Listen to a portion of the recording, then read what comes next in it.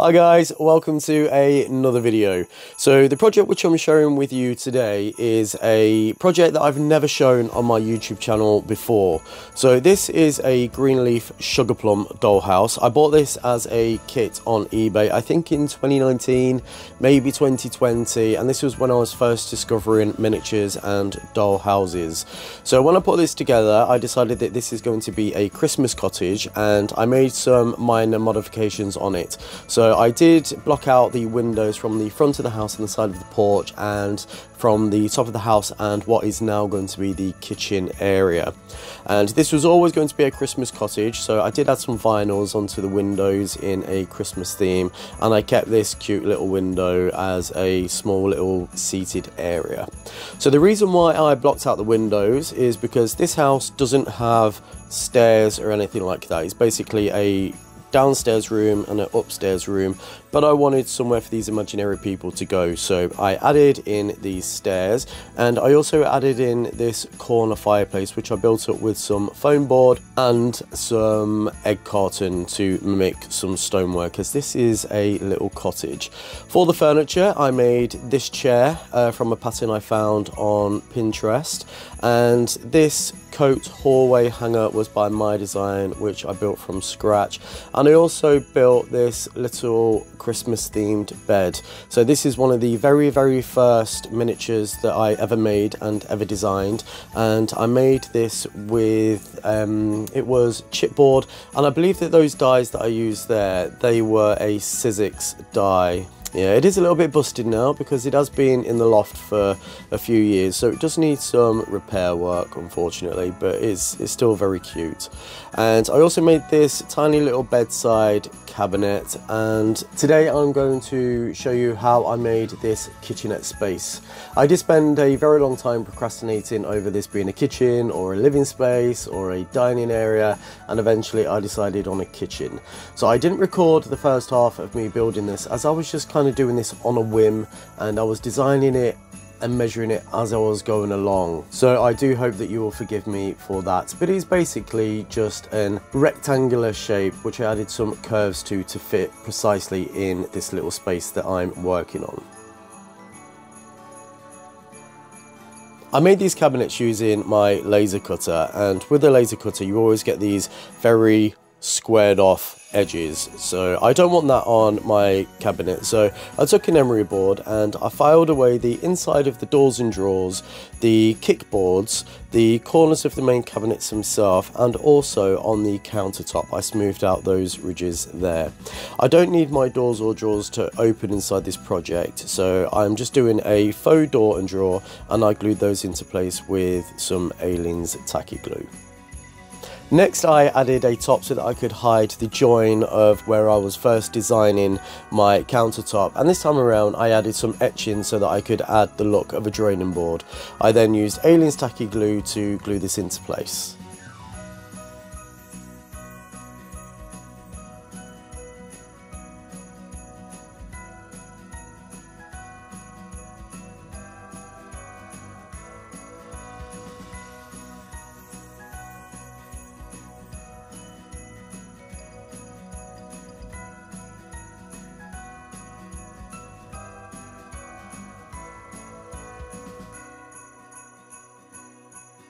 Now that my kitchen is built, I decided to practice a technique which I want to transfer into Professor Okio's kitchen when I get around to that project. And that is to have a brick wall covered in plaster with some exposed bricks.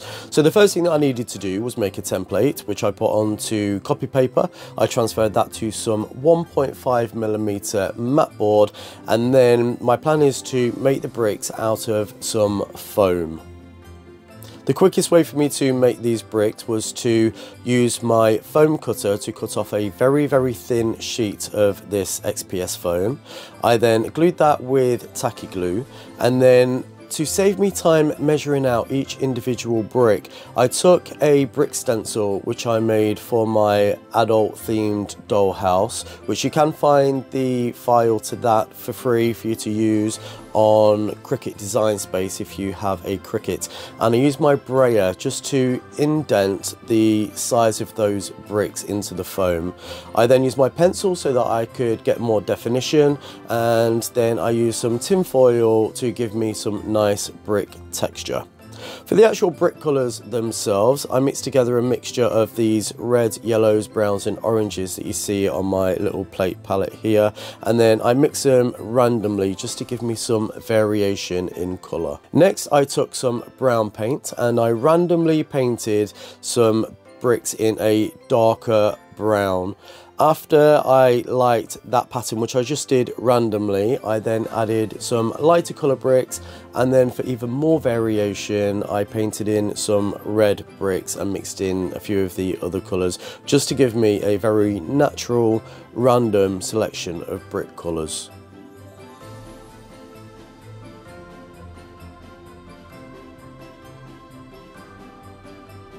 After that had dried, I decided to lock in this progress with some matte Mod Podge. Next, I took some white paint and I dry brushed this on to give the bricks a whitewashed look. I wanted to make sure that my bricks were sealed first in case I didn't like this look and then I could just easily remove that white paint. For the mortar, I used some plaster of Paris and I used a big fluffy paintbrush to brush that plaster of Paris in between all of my brick shapes. To set the plaster of Paris, I sprayed on some water, making sure to protect my cardboard to prevent that from warping. Then I added this Pound Shop polyfiller which I applied using a palette knife in a random fashion to give me a nice look where it looks like the plaster may have fallen off the wall over time.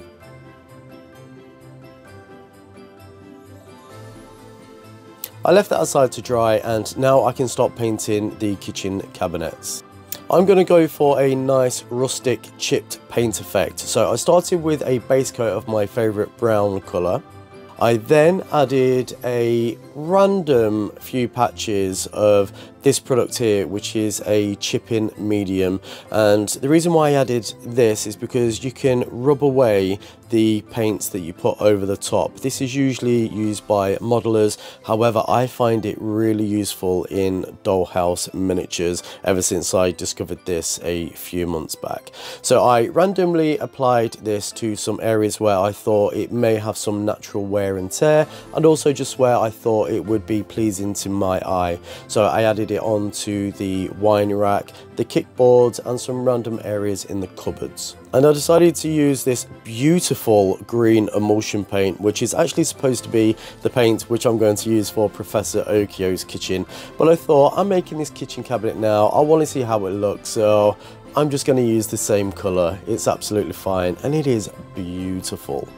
So once that had dried, I then took some water and a toothbrush and I also used a stiff paintbrush and I started to rub away that top layer of the emulsion that was sitting on top of that chipping medium. It really doesn't take very much to remove that top layer of paint and the emulsion is water based which made it even easier. I did pay particular attention to where the feet would touch the kickboard where you're stood at the sink and areas like the wine rack for taking the bottles of wine on and off or on the shelves where you'd be pulling out plates or whatever it is that was stored there. I masked off the top part of this kitchen counter and then I sealed everything in with a gloss varnish.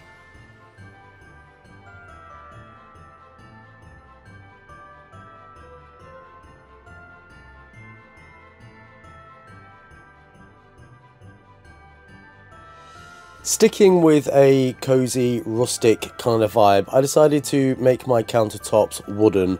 So for this, I gave it a couple of layers of watered down burnt umber acrylic paint, followed by a couple of layers of walnut varnish.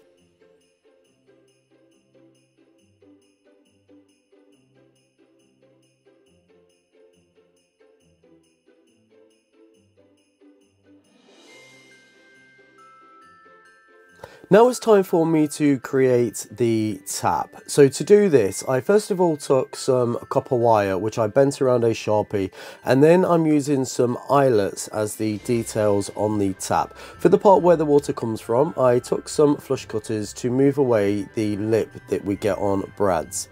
I glued this into place using some gel super glue. For the base of the tap, I'm using some polystyrene sheets which I rounded the corners off of. I'm using a toothpick as the bases of my taps and I use two more of the brads as the base of the tap and then some jewellery findings for the handle. I glued everything into place using super glue and once everything had cured, I took them outside and I gave them a coating of some black primer. Once that was dry, I painted them in a brass colour acrylic paint and then once that had dried, I used a blue turquoise colour to act as the patina that you might find on a brass tap. I also gave the same paint treatment to some of the eyelets to act as the plug hole and as the drainer and I very nearly forgot to mention the actual sink. So to make the sink I'm actually using a ketchup pot from a McDonald's meal. Our cupboards and drawers need some pulls, so to make those I'm using some googly eyes which I cut in half, I primed those and then I gave those a coat of that same brass acrylic paint. Once that had dried, to dirty them down a little bit I added some watered down black acrylic paint.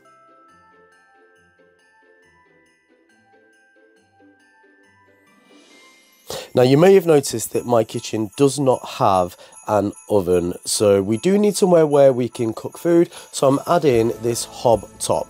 To do that I use some of the same wood as I made the kitchen cabinets with. I painted that black and I gave it a coat of gloss varnish to make it look like an induction top hob or maybe an electric top hob.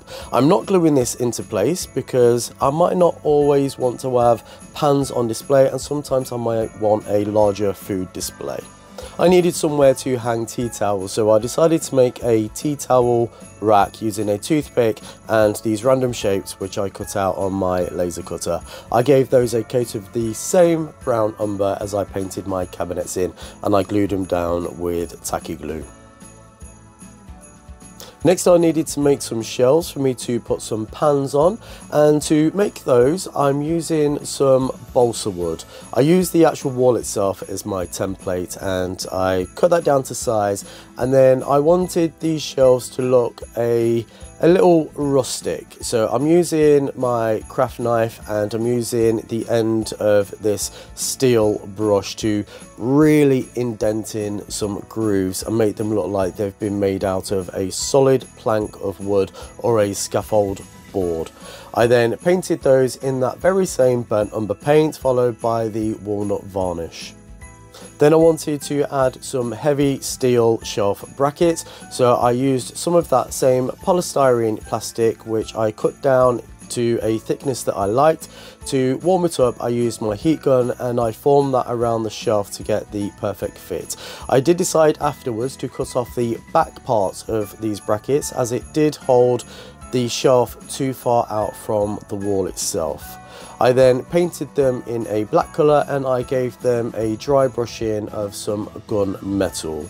Then to attach the shelves to the walls, I inserted some toothpicks so that it would give me some extra support because I know that if I was to only use the glue, that would not hold the weight of the items once I put them onto the shelf. And that brings us to the end of the video. So as always, thank you so much for spending your time with me today. I really do hope that you enjoyed the video. If you're not already subscribed to my channel, please consider hitting that subscribe button, maybe even the notification bell. And at the very least, if you enjoyed the video, please give me a little thumbs up. And I shall see you all real soon. Bye.